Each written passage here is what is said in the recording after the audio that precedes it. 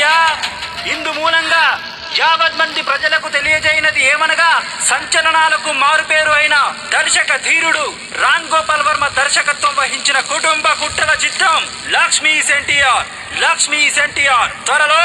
నిజాలను నిగ్గు తేల్చడానికి మీ అభిమాన థియేటర్లలోకి రాబోతుంది. కావున